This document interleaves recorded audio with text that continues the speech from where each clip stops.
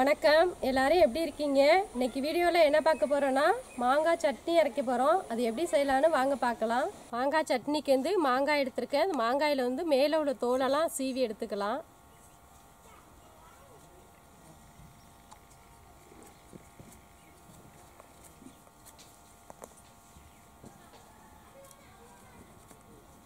மாங்காய் சட்னிக்கு நல்லா புளிக்கிற மாங்காயை எடுத்துக்கோங்க. அப்போ தான் வந்து சட்னி நல்லாயிருக்கும். மாங்காய் வந்து நல்லா தோல் சீவி எடுத்தாச்சு. இப்போ நல்லா கழுவிட்டு பொடிசாக கட் பண்ணிக்கலாம்.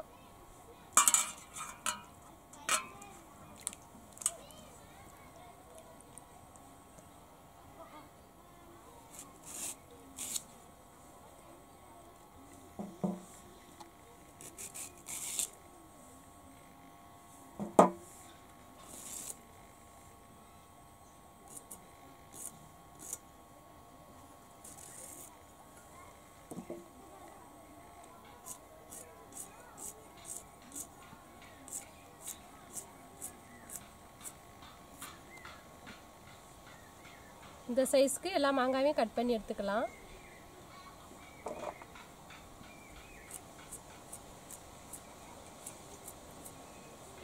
சின்ன வெங்காயம் உரிச்சிக்கலாம். சட்னிக்கு வந்து சின்ன வெங்காயம் போட்டோம்னா தான் நல்லா டேஸ்ட்டாக இருக்கும். அதனால் சின்ன வெங்காயம் எடுத்திருக்கேன்.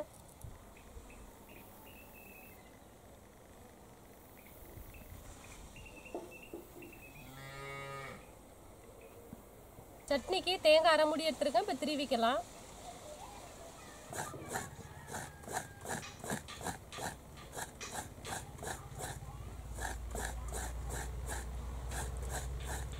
மாங்காய் சட்னிக்கு தேவையான பொருள் பார்க்கலாம்.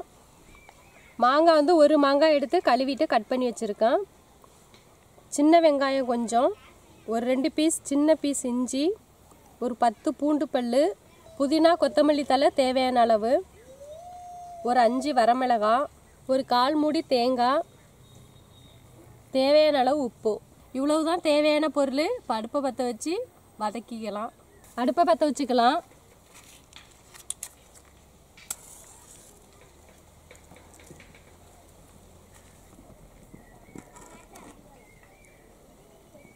சட்டி சூடாயிடுச்சு எண்ணெய் ஊற்றிக்கலாம்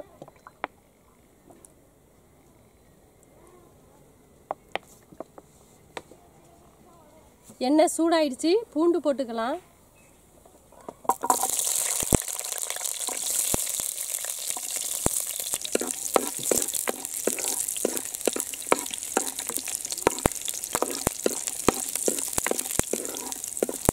பூண்டு கொஞ்சம் நேரம் வதங்கட்டும்.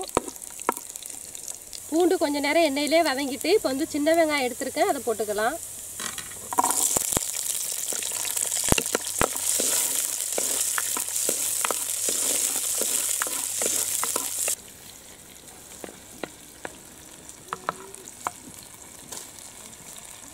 வெங்காயம் ஒரு அரைவேக்காடு வெந்துருச்சு. ஒரு அஞ்சு வரமிளகாய் எடுத்திருக்கேன். அதை சேர்த்துக்கலாம்.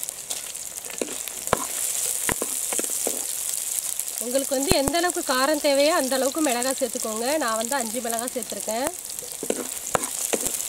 இஞ்சி ரெண்டு பீஸ் எடுத்து வச்சுருக்கேன். அதையும் சேர்த்துக்கலாம். வெங்காயம் பூண்டு மிளகாயெல்லாம் வதங்கிருச்சு. இப்போ மாங்காய் சேர்த்துக்கலாம்.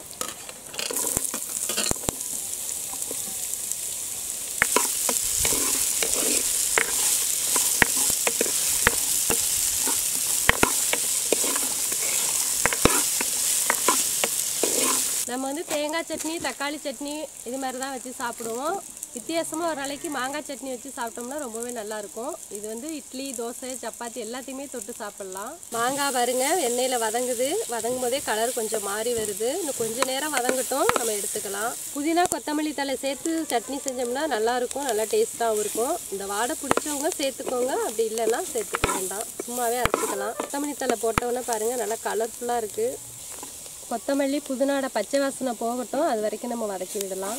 கொத்தமல்லி தலையோட பச்சை வாசனை போயிடுச்சு. இப்போ வந்து தேங்காயை சேர்த்துக்கலாம்.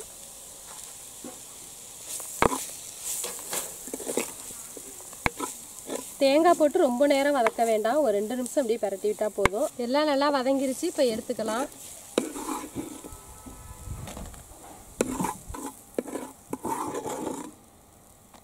கொஞ்ச நேரம் ஆறட்டும். ஆறுனதுக்கப்புறம் அரைச்சிட்டு வந்துடலாம். இன்னைக்கு சட்னி வந்து அம்மியில் தான் அரைக்க போறேன். அம்மி வந்து நல்லா சுத்தமா கழுவிக்கலாம்.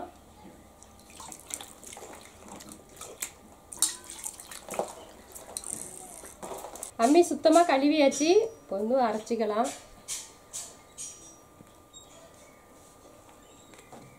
ஃபஸ்ட்டு மிளகாயை வச்சு நல்லா அரைச்சிக்கலாம்.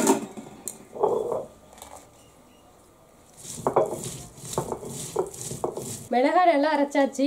இப்போ வந்து நம்ம எடுத்துருக்க இஞ்சி வந்து அரைச்சிக்கலாம்.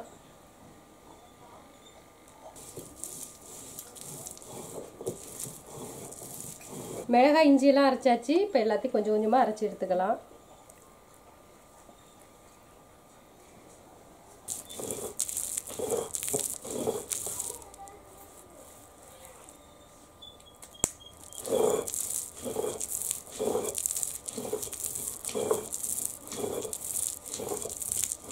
பாதி அரைச்சிட்டேன். இப்போ வந்து சட்னிக்கு தேவையான அளவு உப்பு சேர்த்துக்கலாம். உப்பு சேர்த்து நல்லா அரைச்சிக்கலாம் இப்போ. பாருங்கள் சட்னி வந்து நல்லா அரைஞ்சிருச்சு. இப்போ வந்து வலிச்சு எடுத்துக்கலாம்.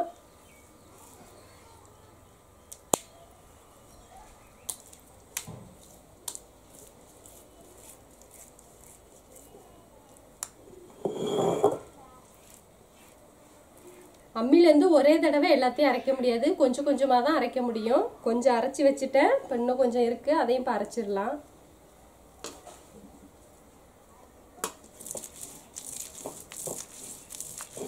எல்லாத்தையும் அரைச்சி எடுத்தாச்சு. இப்போ வந்து அம்மியை கழுவிக்கலாம். சட்னி அரைச்சிட்டு வந்தாச்சு. சட்னி வந்து தாளிச்சுக்கலாம். தாளிக்கிறதுக்கு சட்டி சூடாயிட்டு இப்போ எண்ணெய் ஊற்றிக்கலாம் எண்ணெய் சூடாயிடுச்சு. கடுகு சேர்த்துக்கலாம்.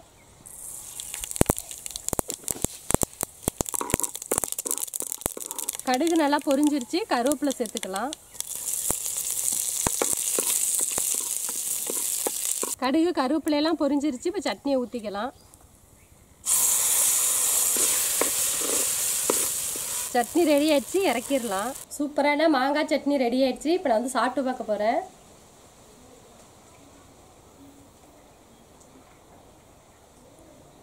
ரொம்பவே சூப்பராக இருக்குது புளிப்பு காரம் எல்லாமே சேர்ந்துருக்கு. நம்ம என்னதான் மிக்சியில் அரைச்சி சட்னி செஞ்சு சாப்பிட்டாலும் அம்மியில் அரைச்சி சாப்பிட்றது அது ஒரு தனி டேஸ்ட்டு தான்.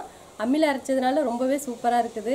இதேமாரி நீங்கள் செஞ்சு சாப்பிட்டு பாருங்கள் சாப்பிட்டு பார்த்துட்டு எப்படி இருக்குன்னு கமெண்ட்டில் சொல்லுங்கள் இந்த வீடியோ பிடிச்சிருந்துச்சுன்னா லைக் பண்ணுங்கள் ஷேர் பண்ணுங்கள் கமெண்ட் பண்ணுங்கள் மறக்காமல் சப்ஸ்கிரைப் பண்ணுங்கள் பக்கத்தில் உள்ள பெல் பட்டனை கிளிக் பண்ணிடுங்க